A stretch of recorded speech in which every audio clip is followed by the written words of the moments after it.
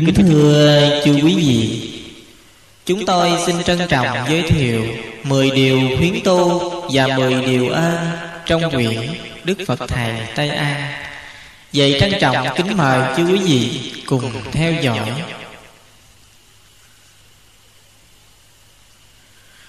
Nam Mô A Di Đà Phật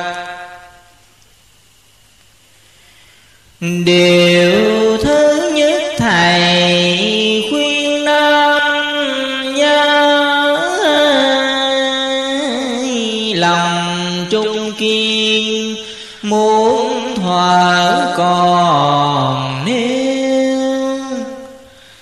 Dù ai nặng nhẹ trong điều, Quyết không bỏ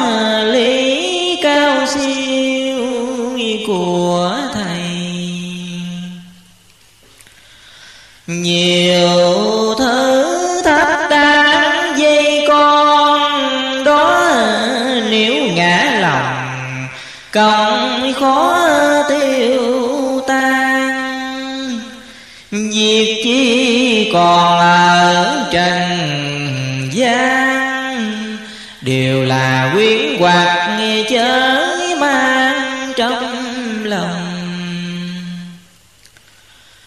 điều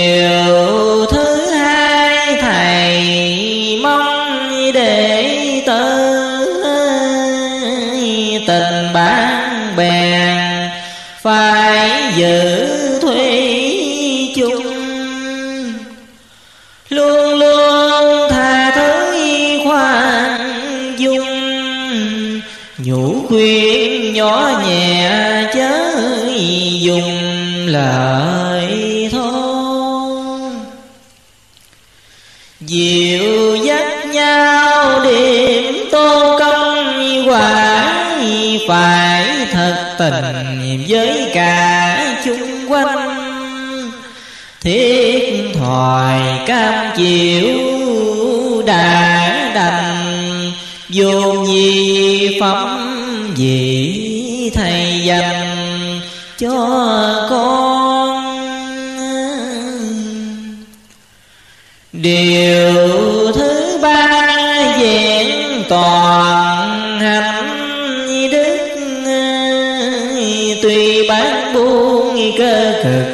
tạo tăng đòi công nuôi lấy tâm thân đừng ham mến chuyện phi nhân gạt lường. Dù gian bạc đầy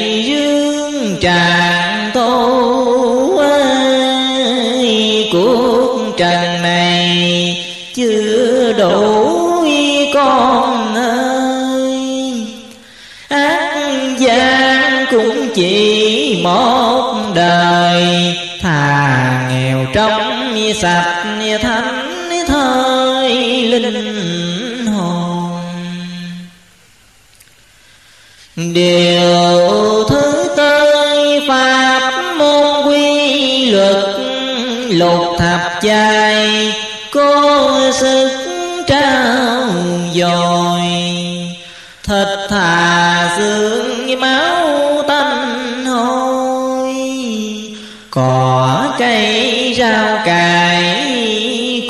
rồi. Bữa ăn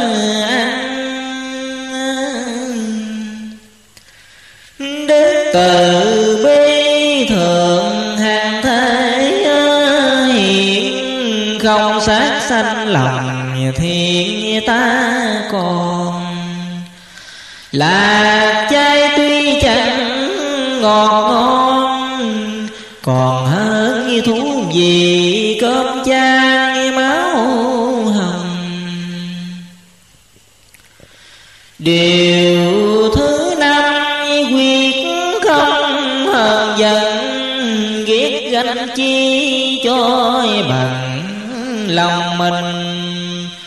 Con xem dạng quyển thiên kinh, hiền nhân quân tử rộng tình, vô câu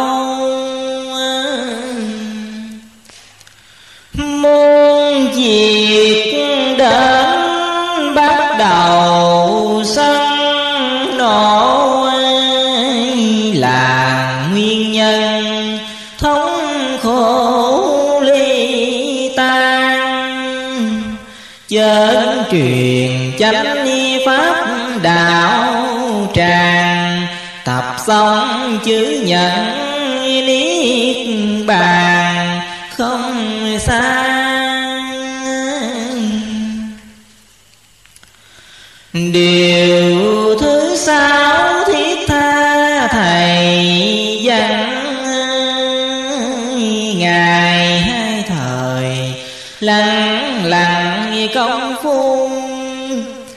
việc chi dù quá cần cồn, cùng nhân dài phút tập tu nguyện cầu. Khi rảnh việc đồng soi chờ, búa đem sấm kinh tự của thầy ban, học cho thuộc đôi hàng ngầm ngà trong lúc thanh nhàn bưng nhiều quân điều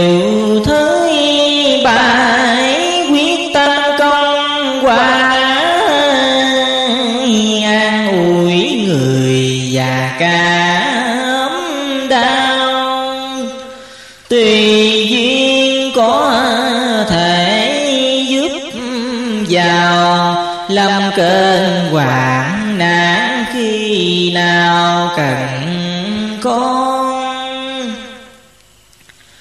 phước đức đó vẫn còn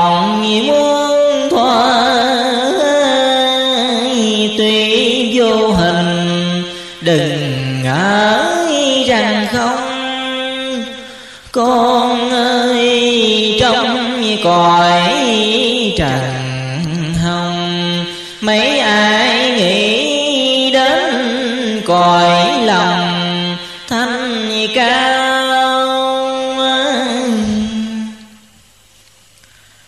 Điều thứ tám lời nào thầy dạy? Dù khổ lao, chớ ngại công trình. Phải hy sinh phật tiên đâu nỡ quên tình con sao? Đừng chấp việc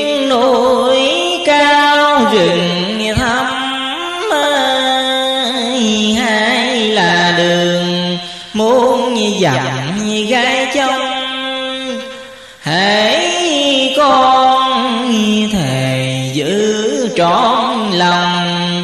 Đương nhiên đặt đạo thoát dòng tự sanh điều thứ chín, đạo lành căn bản, giữ làm sao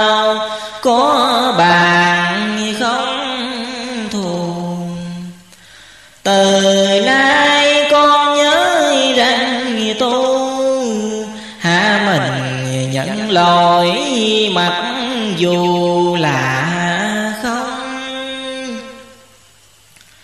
Lời nói sao hòa trong hiệp ngoại đừng hơn người, nếu phải ép lòng. Không ham những chuyện mênh mông, vừa nó đủ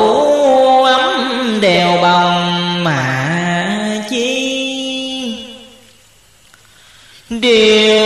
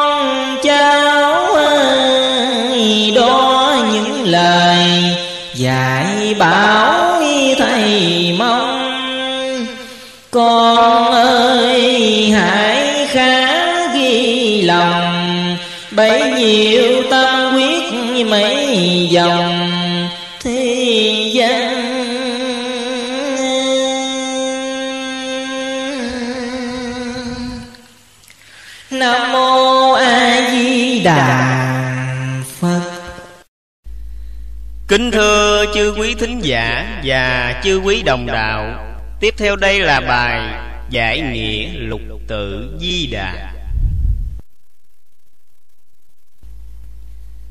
Nam mô A Di Đà Phật.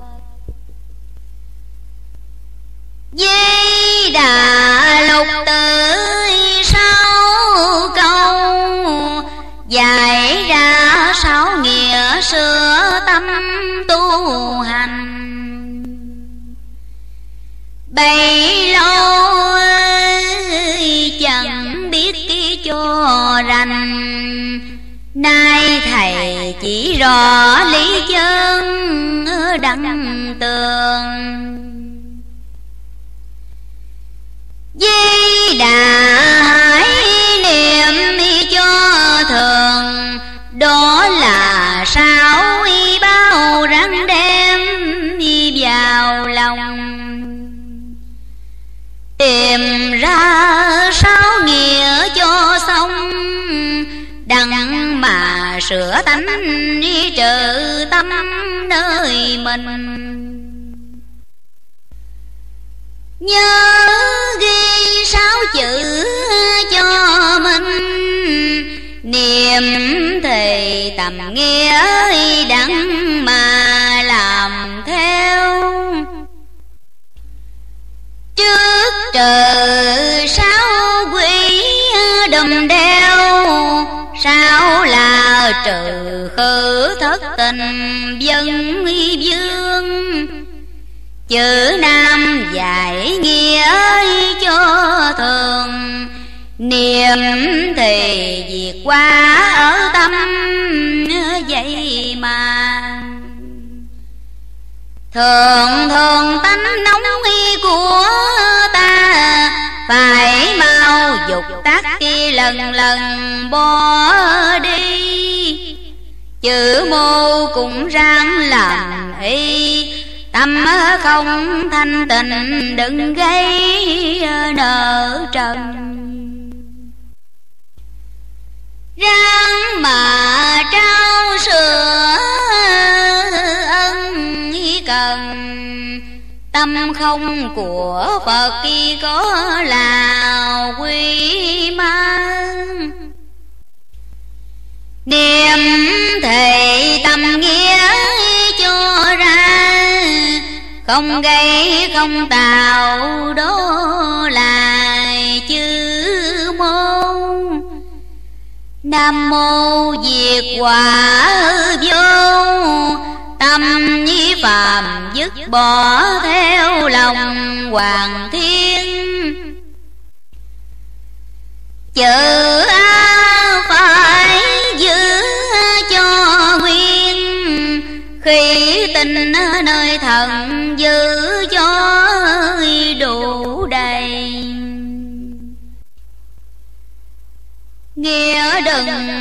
dâm dục tàu gây.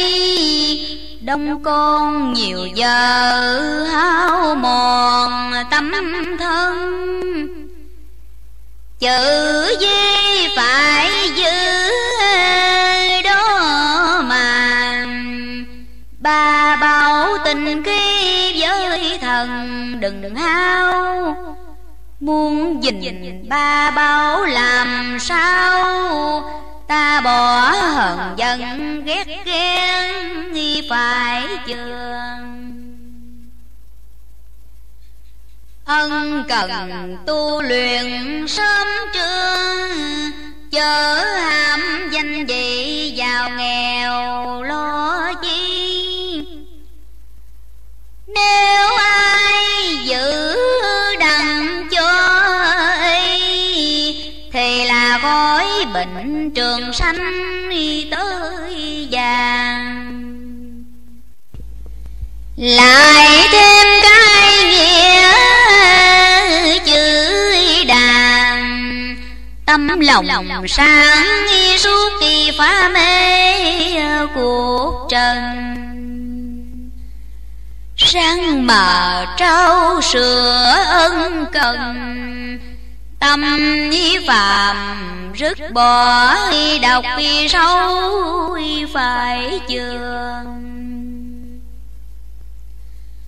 ân cần dồi luyện sớm trưa thì là trúng nghĩa khỏi sai với lầm. Chữ phật là tình cái tâm hãy đem trí não mà tâm cho ra đó là phật khi chẳng có sai tâm cho bình tình cõi tiên đâm về niệm thầy phải phá tâm nghi mê, tâm đừng vòng quấy dình lòng từ bi. Niệm thì ráng nhớ làm y, của thầy sư giải đắng mà làm theo niệm phật khi chẳng luận giàu nghèo. Không tốn tiền bạc mà sao thanh nhàn? Niệm phật chẳng tốn tiền ngàn, thì sao mới đặng tòa vàng? An thân niệm phật khi sớm tối ân cần, ngày đêm xuyên niệm khói trong luân hồi. Niệm phật muôn việc thôi thôi, chớ ham sự thế cực kỳ lòng khổ thân niệm phật gặp hội long dân, ráng mà siêng niệm có ngày siêu sanh niệm phật đừng có đua tranh, theo đời văn vật kỳ hao mòn thân y ta niệm phật khi khỏi đọa yêu ma khuyên trần ráng niệm nơi tâm cho thường. Niệm phật khỏi đọa dân dương thường thường xét lỗi của ta hằng ngày. Niệm phật nợ thế đừng dai nợ trần ráng trả có ngày thành ni thôi trả rồi sao đặng vui chơi, hiệp với cùng tiên phật kỳ tớ thầy. Âu ca nam mô a di đà phật. Kính thưa quý vị, tiếp theo là bài tịnh thế văn. Cuộc trần thế khuyên ai hại gầm? Danh mà chi lời lâm mà bà công danh như bọt nước có ra gì mùi phú quý như dần mây tan hiệp sang cho mây cùng thì một kiếp. Vào đến đâu ơi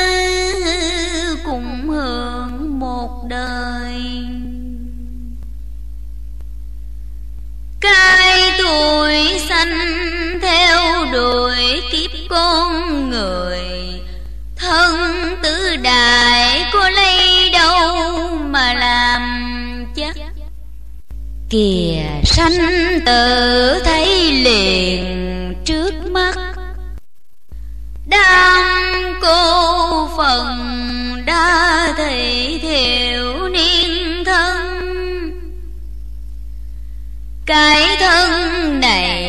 cái giả thân nay còn đó mai chưa được thêm nỗi bình nỗi già thúc phước sống trên đời sống được bao lâu mới mãi xanh kê đà ba kỳ đồng. Rồi lại đến quan khâu một năm. Ôi, tam thốn khí tài thiên ban dùng, nhất đăng vô thường, giảng sự muôn việc đều nương lấy tất hơi hơi vừa dứt thì cuộc đời cũng dứt. Nào của cái vợ con tài vật, nhắm mất rồi nắm lấy tay không? Nghĩa tàu kháng cố kẻ chẳng bền lòng, đành cai tiếc già mong chồng bỏ con dài mặt đời hành phạt cái cuộc đời nghĩ cùng buồn tanh. Hết mê danh, mê lời, mê tình. Tôn mượn thu già lam phong cành. Gầm Phật Kính thưa chư quý vị, Đề tiếp theo đến phần Cõi cực lạc với pháp môn niệm Phật. Kìa, trước mắt chúng ta là cảnh quy hoàng Là nơi chân trời hạnh phúc miên diện Do công đức niệm Phật tạo thành. Và bởi nguyện lực của Phật A-di-đà Ngài dành cho những ai gồm đủ tính nguyện hành Và biển lòng thôi gần sống. Vì chúng ta hãy cùng đến Tây Phương qua tác phẩm Cõi cực lạc với pháp môn niệm Phật. Nam mô A Di Đà Phật. Đức Phật xưa có lời phát thể chúng sanh trong cảnh thế tai bàn nếu ai trì niệm di đà lâm chung phật rước về mà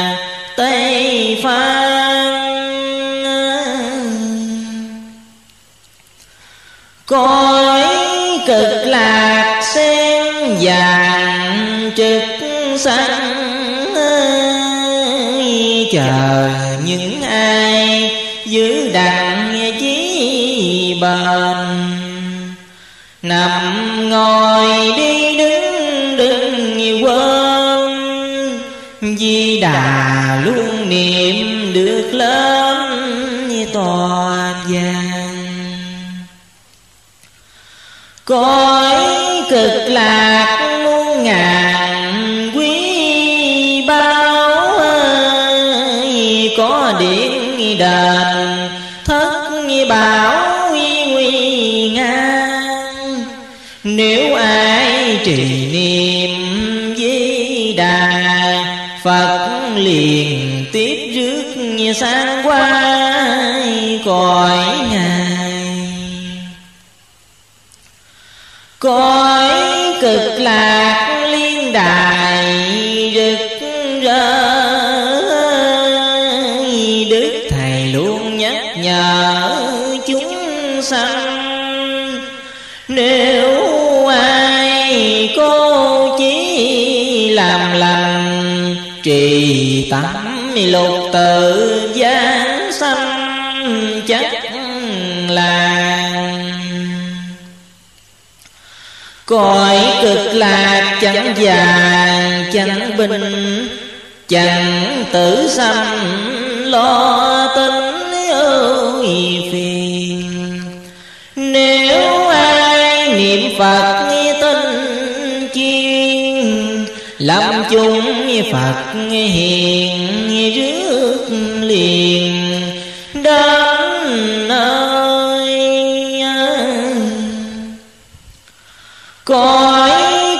Lạc đời.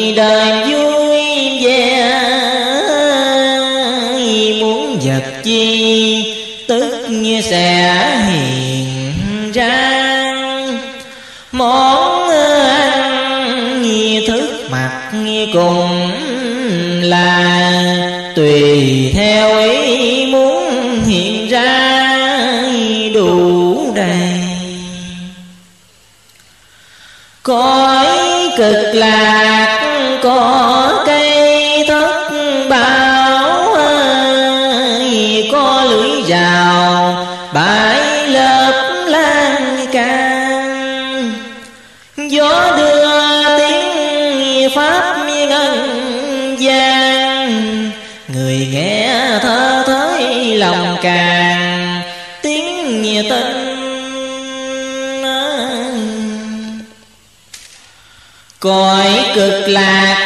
sinh người nữ bình đẳng tâm đôi xử ôn hoàng.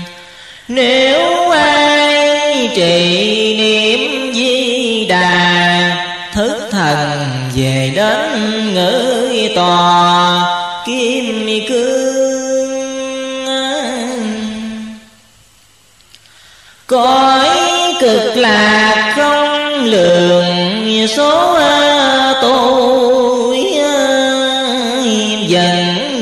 toàn. Như đức phật đàn, xác thân bản chất liên quan. Ba hai tướng hảo thật là đẹp xinh. Ai muốn được giảng sanh về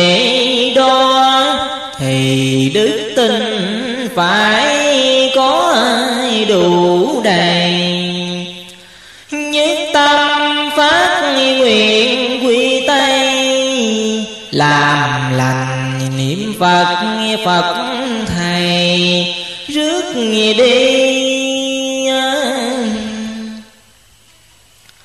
Cõi cực lạc liên trì đua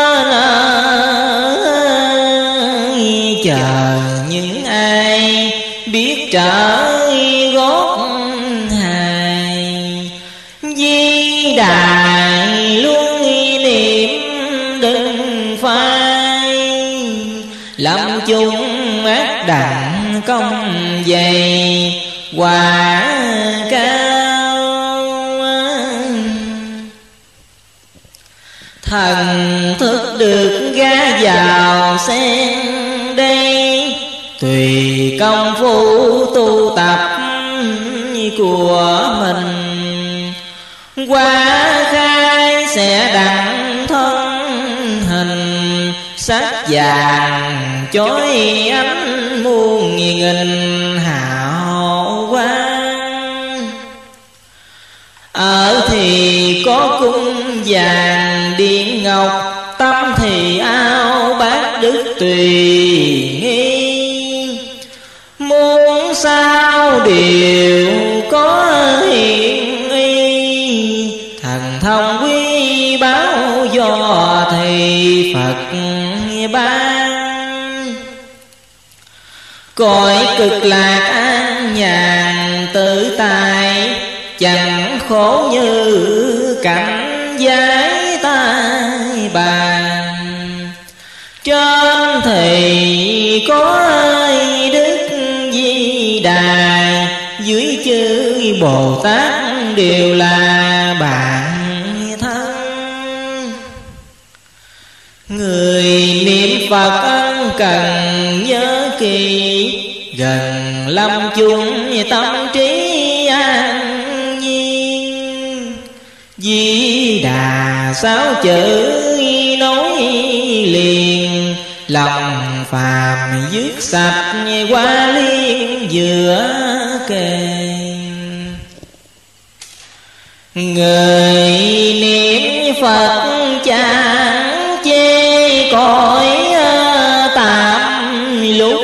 chung, chẳng dám luyến trần. Bấy lâu tạo nghiệp lên thân, bây giờ rước bỏ để gần lạc ban. Người niệm phật quyết sang cõi phật gần lâm chung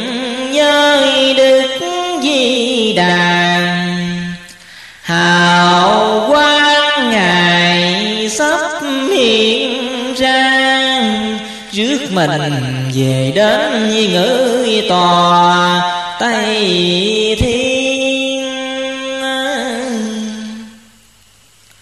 Người niệm phật tiền khiến dứt sạch lúc lâm chung, chẳng trách phiền ai. Để tâm yên lặng trong ngoài cháu con quyến thuộc chẳng dài nhớ chi?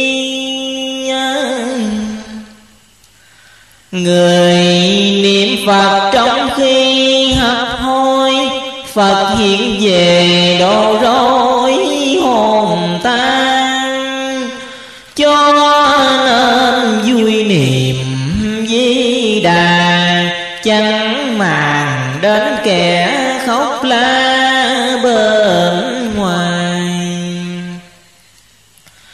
Người niệm phật trần ai biết rõ nên tâm mình vui bỏ cảnh đời.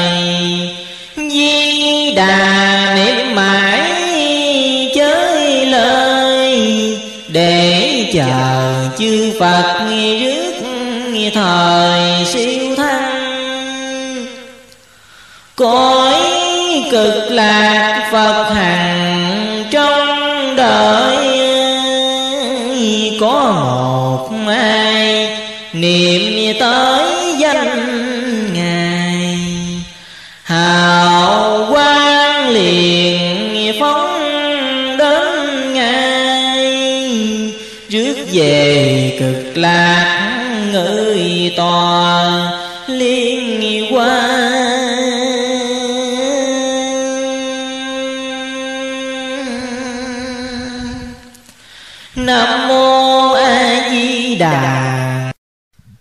theo đây, chúng tôi xin đọc lại bài kệ niệm phật. Nam mô a di đà phật. Niệm phật có bốn thần linh. Thường thường bảo hộ bên mình mộ khang niệm phật tật bình tiêu tan, như xương tan nát như hồ. Nước trong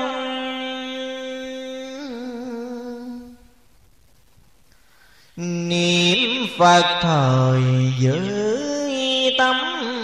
lòng lòng đừng trao chát mắt dòng gian nan. Niệm phật cực lạc hân quan ta bà khổ não dạo sang mấy hồi. Niệm phật muôn diệt đều thôi chớ ham siêu niệm luân hồi khốn thai.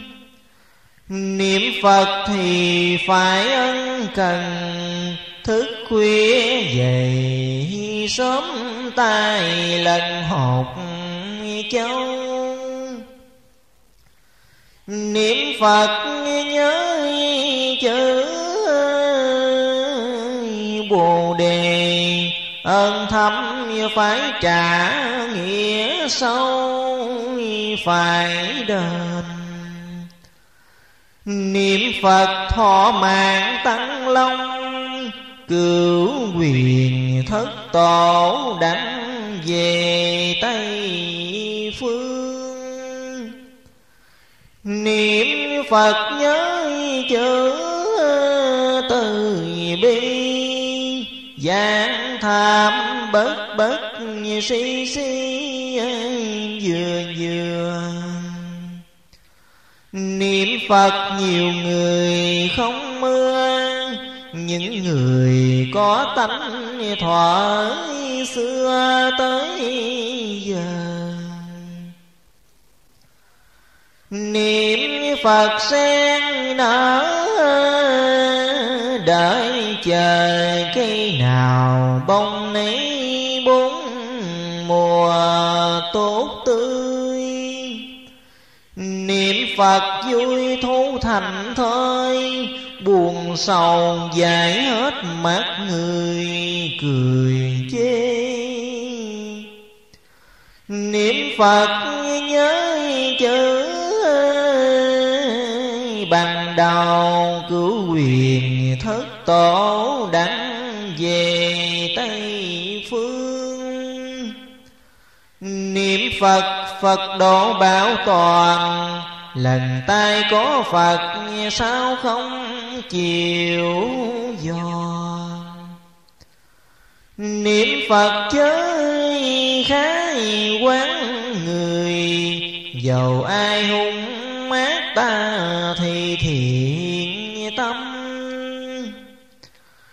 Niệm phật nhiều kẻ vô nhân quả tai thì niệm hết dần, lại quên. Niệm phật không tốn đồng tiền, niệm phật thoát khỏi những điều bi ai niệm phật có phật như lai, bình an yêu quái ẩn hình trong thân.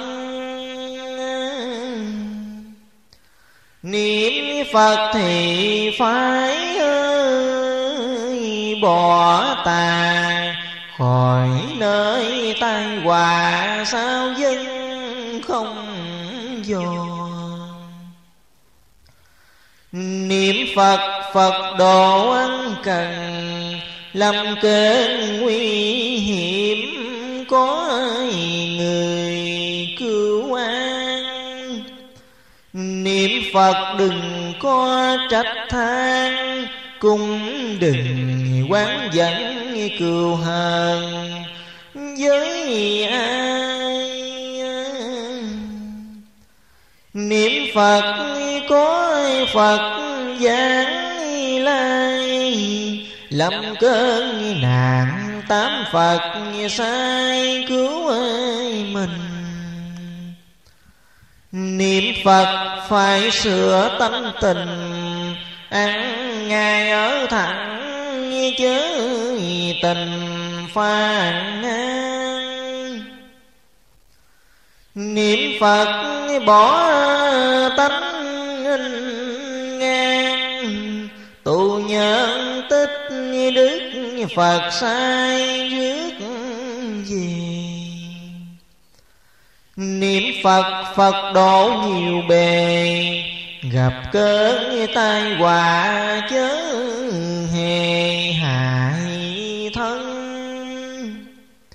Niệm phật đừng có kể công, dầu lâm tai họa cũng không lụy mình. Niệm phật thì phải ờ, chí tình. Ơn cha nghĩa mẹ giữ gìn cân phân. Niệm phật phải giữ tứ ân ơn nhà nợ nước sự phân trọn nhì. Niệm phật tập tánh từ bi, đạo vợ nghĩa chồng chớ có nại nhau. Niệm phật hầm hút cháo rau, thương người tàn tật sang giàu đừng ham niệm phật đừng muốn tiền ngàn xa cừ má não ai màng làm chi. Niệm phật tàn tật đừng khi nửa sao mắt đỏ hơn thì người ta. Niệm phật bỏ tâm gian tà cũng đừng ham sắc ham qua làm gì. Niệm Phật đừng có sân si, Thấy người mắc nạn khá đi, cứu người. Niệm Phật đừng có quan cừu Đừng đem lòng ác hại người, Chẳng nên Niệm Phật giữ giả cho bền. Ơn thầy nghĩa bạn chớ nên sai lầm. Niệm phật phật hiện vào tâm tam bằng lục tắc dục mình đặng đâu. Niệm phật bỏ tâm câu mau, thì sao mới đặng một câu thanh? Niệm phật khỏi hết tai nạn, nói cho già trẻ đắng tàn căn nguyên. Niệm phật phật độ hiển nhiên, gặp cơn bão loạn đặng yên thân mình niệm phật phải tưởng thần linh. Cùng đừng khinh dễ mà mình lụy thân. Niệm phật thương hết thế trần. Giàu nghèo thì cũng nhân nhân là niệm phật khổ hại bằng mười, chỉ công gắn đặng thì mình mới nên. Niệm phật giữ dạ cho bền, ơn đền nghĩa trả dưới trên thuận hoàng niệm phật phật chẳng xa chỉ công cầu nguyện Phật mà hiện cho. Niệm Phật thì đặng ấm no Khỏi cơn đối lạnh mà lo nổi gì? Niệm Phật có Phật dắt đi. Coi non coi núi coi thời bồng lai. Niệm Phật Phật cứu hoài hoài Khỏi nơi lao khổ nào ai Niệm Phật tai quả cũng bay. Nói cho già trẻ giữ nay mà nhờ. Trẻ già đừng có nghi ngờ. Giết đời ngó thấy bây giờ tới đây bài khuyên khắp đông tây, Nói cho nam nữ đặng hai giữ mình.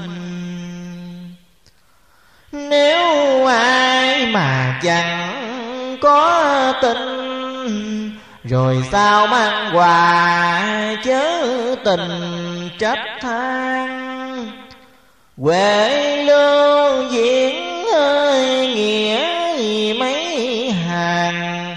Cầu cho già trẻ luận bàn tu thân.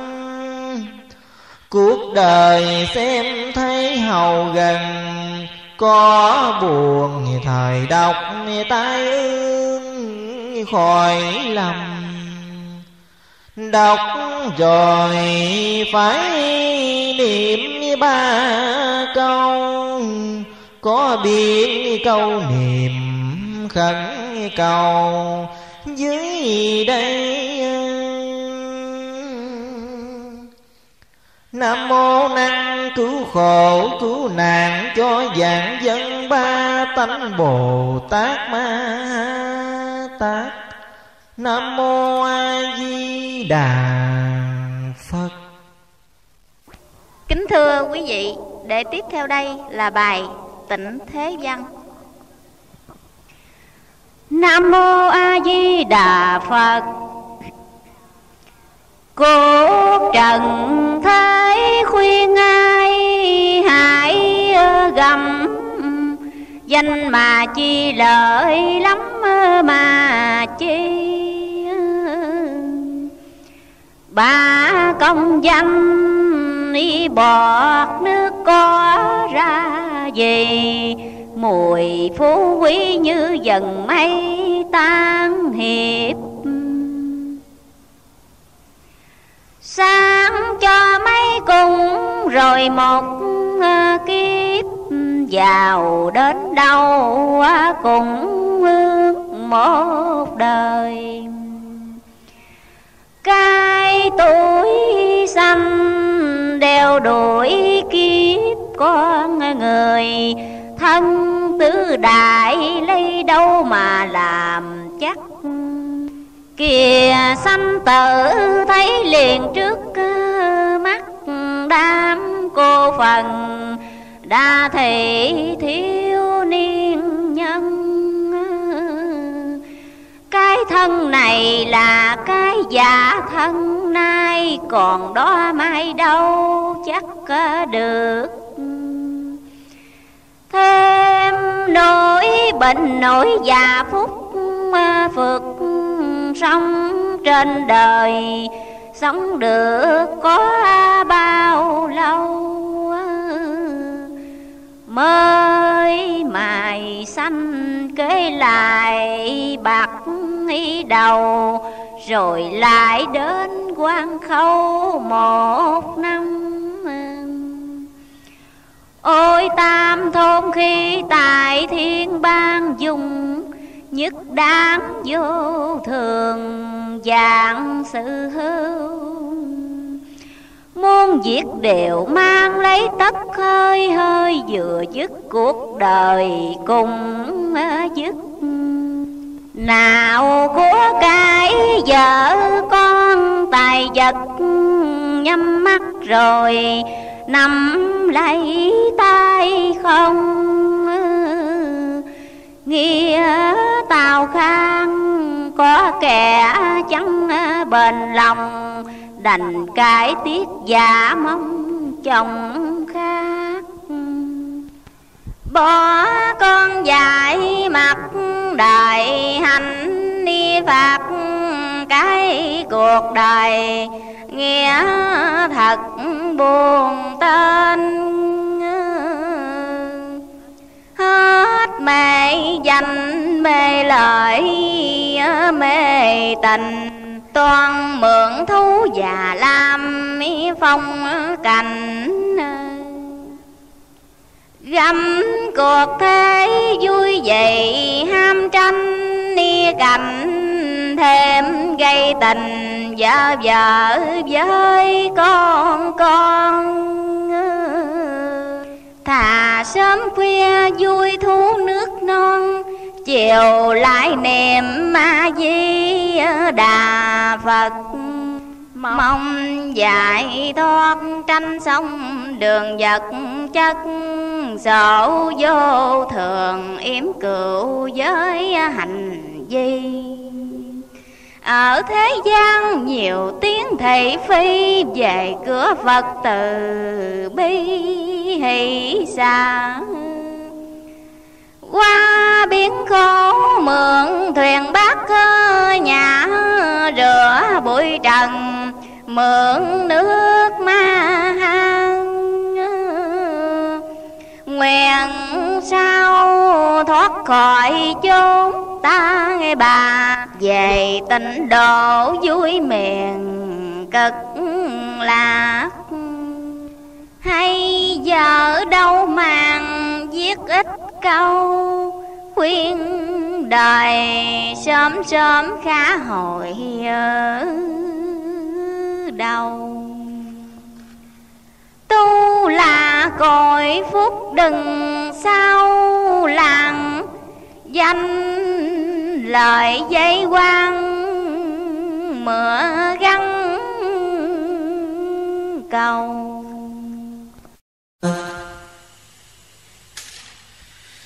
Kính thưa chư quý thính giả cùng chư đồng đạo Để tiếp theo đến 10 điều ơn Được trích trong bộ Kinh Báo Hiếu Phụ Mẫu Ăn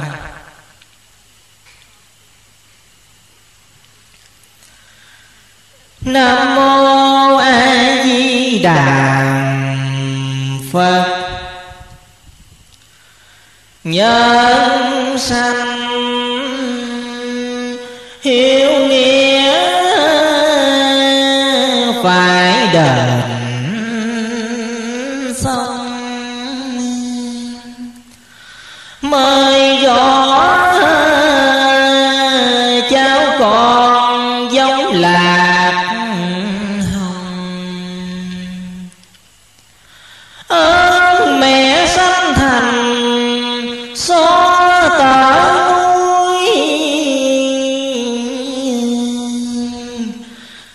cha dưỡng dục ờ, sắm dường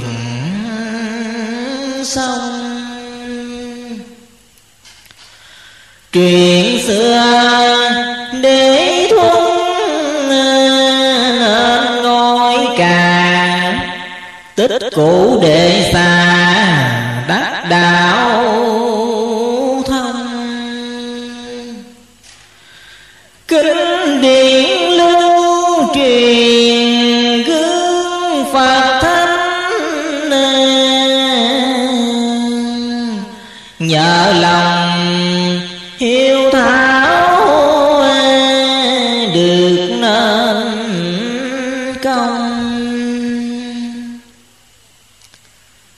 kính thưa quý vị, cây có cội nước có nguồn. Con người sở dĩ có thân Là nhờ ơn cha mẹ sanh thành dưỡng dục. Vậy bổn phận làm con Lúc nào cũng phải nhớ ơn cha mẹ Để lo đền đáp cho tròn câu hiếu thảo. Thế nên, Hôm nay chúng tôi xin trình bày về 10 điều ơn của người con phải thọ nơi cha mẹ. Như trong sám giảng Đức Quỳnh giáo chủ có khuyên. Vẹn mười ơn mới đạo làm con. Lúc sanh son chớ nên phổ bạc. Căn cứ theo đây Đức Quỳnh giáo chủ khuyên rằng Bổn phận làm con Lúc cha mẹ còn sanh tiền. Phải lo đền đáp công ơn sanh dưỡng cho tròn vẹn. Kính thưa quý vị. Ơn cha mẹ sanh thành dưỡng dục Phận làm con chẳng phút nào quên. Sớm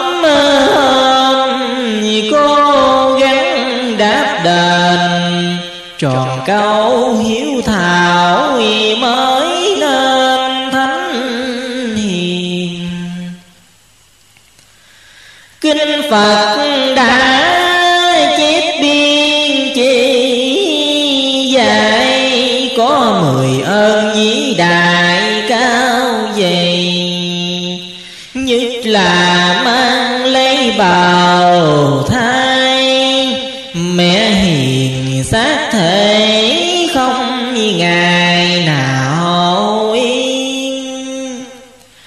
Sự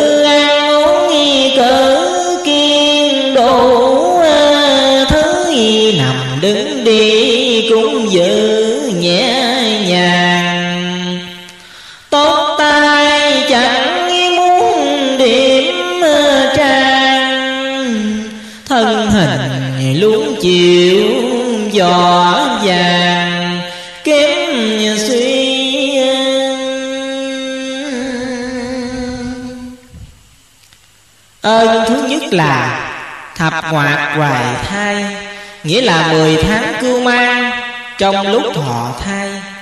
Bà mẹ phải quên ăn mất ngủ Như người có bệnh, Lo tính từ ngày, Giữ gìn kỹ lưỡng, Không dám đi mau động mạnh, Dường như đeo thêm túi nặng vào mình. Trông thật là khó nhọc. Ơn thứ nhì tới kỳ khai nợ phải một phen kinh sợ hại hùng. Hại nhi chọi đạp tới tung Làm cho thân mẹ muốn trùng.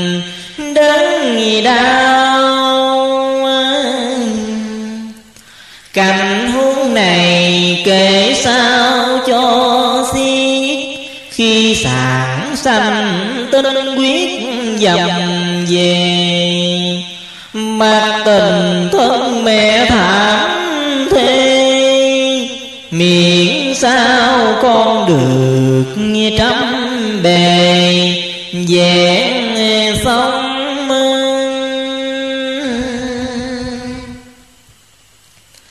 Đến ơn thứ nhì là lâm sản thọ khổ, Nghĩa là sanh đẻ chịu khổ.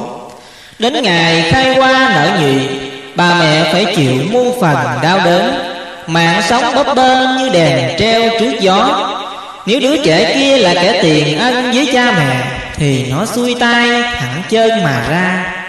Trái lại nếu nó là đứa nghịch thù Thì lúc còn ở trong bào thai Đã cử động tay chân Dằn níu gan ruột Choi đạp vào hông Khiến người mẹ đau nhói cả tâm can. Lại thêm tinh huyết tuôn dầm. Ôi, tình cảnh như thế, Ai trong già mà chẳng xót dạ thương tâm? Ơn thứ ba vừa trong thấy trẻ và khỏi lòng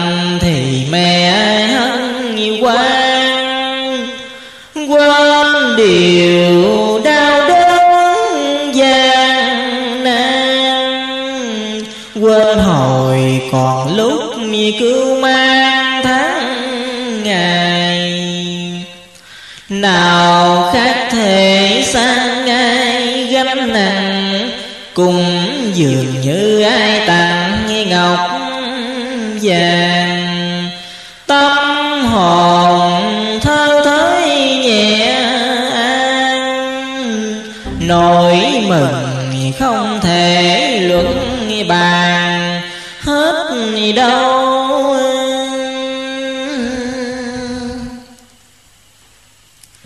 Đến ơn thứ ba là sanh tử dông ưu Nghĩa là sanh được con mừng mà quên lo rầu. Trải qua một lúc kinh tâm đau đớn, Bà mẹ sanh đứa con ra, Trông thấy nó được đầy đặn vuông tròn, Thì vui mừng không xiết Mà quên đi tất cả sự lo buồn. Ơn thứ tư dạy dầu mẹ chiều. Lo nuôi con chẳng thiếu chẳng sai. Cam đành ăn đắng nuốt cay. Ngọt bùi phần trẻ không ngại.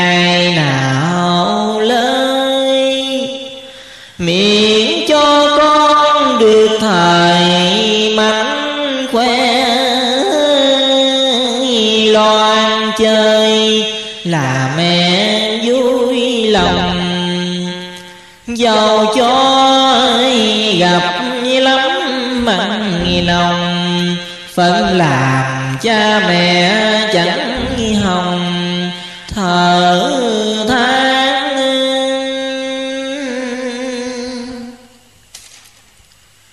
đến ơn thứ tư là yến khổ thổ cam, nghĩa là uống đắng nhổ ngọt. Lòng mẹ thương con vô hạn, không lẫn tiếc món gì mẹ có thể ăn đắng ngủ cay, nhìn miếng ngọt bùi để nuôi cho con được đầy đủ. Giàu có thèm khát, mẹ cũng cam tâm. Ơn thứ năm mẹ đang ngon giấc, bỗng nhiên con phóng vật.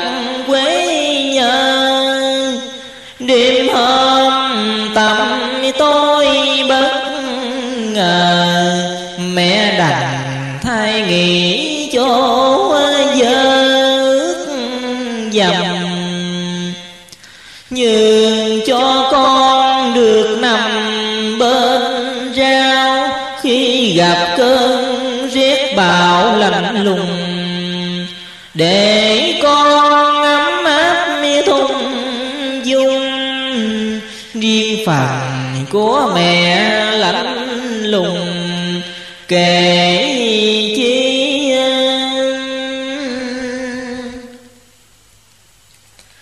đến ơn thứ năm là hồi can từ thấp nghĩa là nhường chỗ khô nằm chỗ ướt trong lúc đêm hôm tâm tối, mẹ đang ngon giấc, bỗng đứa con phóng quế trên giường. Thì mẹ vẫn an nhiên nằm chỗ ướt, nhường chỗ khô cho con. Gặp phải lúc mùa đông, gió rét, mẹ lo đùm bọc, đắp phủ cho con được ấm áp. Còn riêng mẹ, dù có lạnh lẽo, cũng yên lòng. Ơn thứ sáu nhìn khi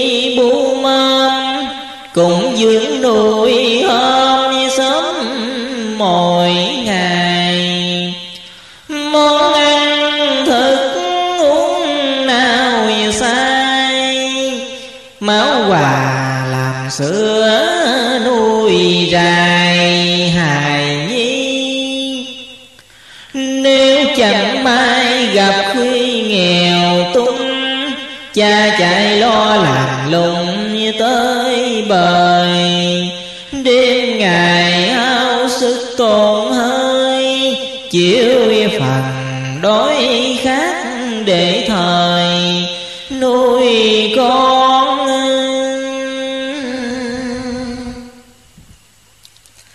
đến ơn thứ sáu là nhũ bộ dưỡng dục nghĩa là bú mớm và nuôi nấng. sanh đứa con ra bà mẹ lo từ miếng ăn thức uống cho mình. Cốt là để có sữa cho con bú. Còn cha thì nó làm lụng vất vả Để kiếm tiền nuôi con Cho đến lúc trưởng thành. Ơn thứ bài lại còn hơn Vật quê nhớ giặt rửa mỗi ngày. Những khi tiểu tiện ra ngoài, mẹ cha bồng ấm chẳng này.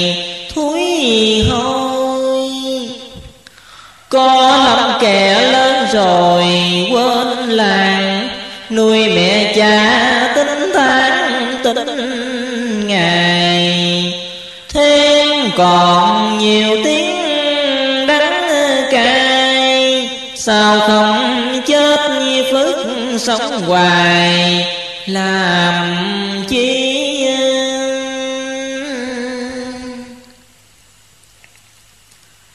đến ơn thứ bảy là tẩy trạc bất tình, nghĩa là rửa rái mọi điều dơ bẩn.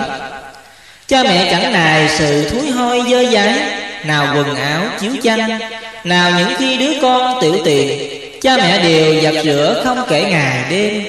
Ôi, với điều này khi cha mẹ già yếu, biết người con có nuôi lại được như vậy chăng?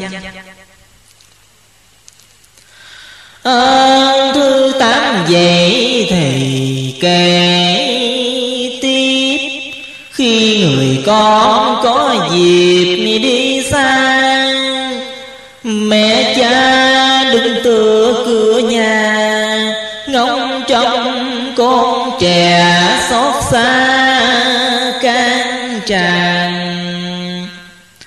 Tâm hồn mãi mơ màng dơ dần. Tư tưởng luôn quanh quẩn bên con. Xác thân già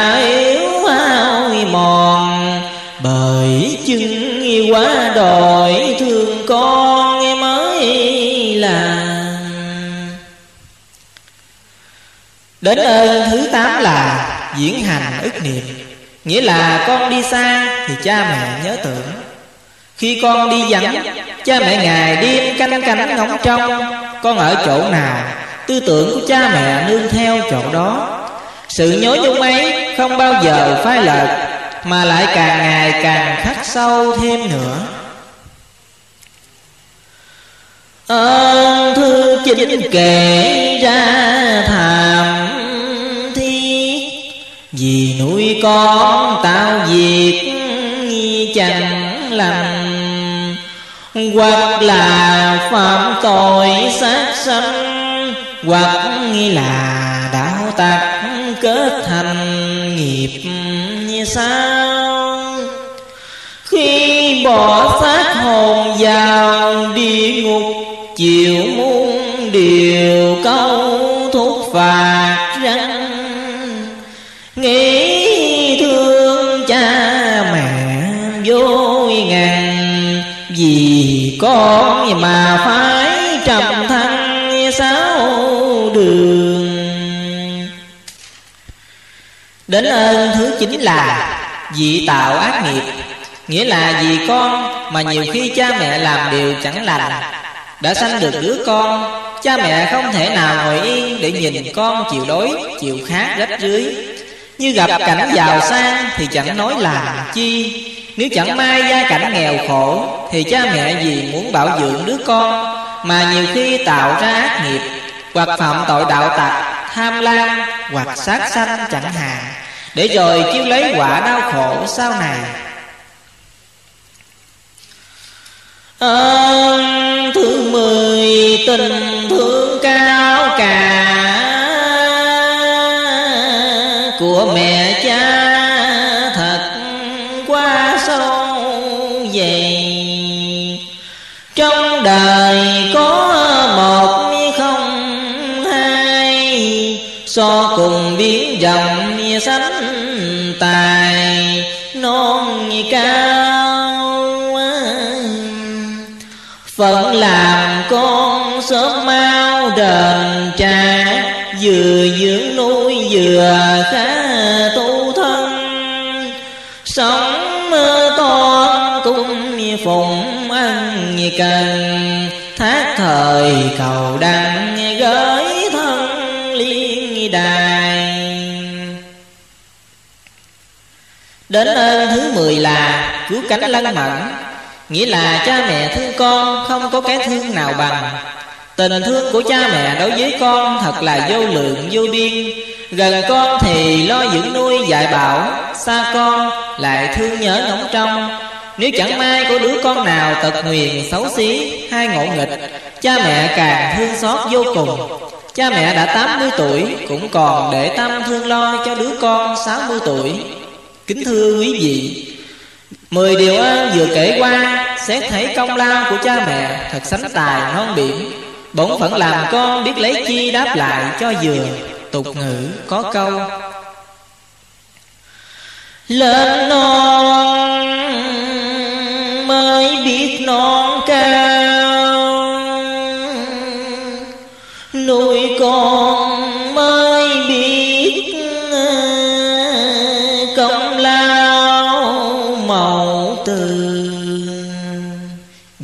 câu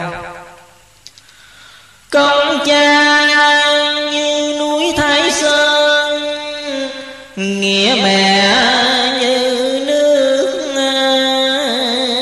trong nguồn chảy ra, Một lòng thờ mẹ kính cha Cho tròn chữ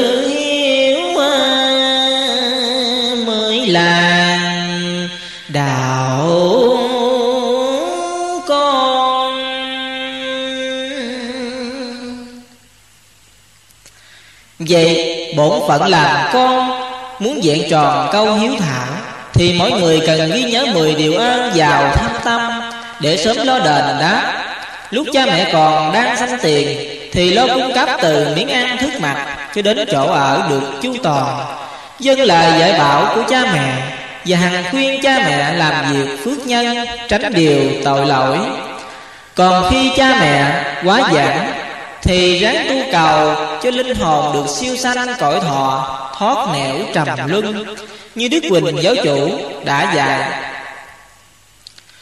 Ở ăn cho vẹn mười ơn Cảnh tình hiền đức gặp cơn khải hoàng Và câu Giang tôn đắc đạo cứu cự huyền Thoát chốn mê đồn Đến cảnh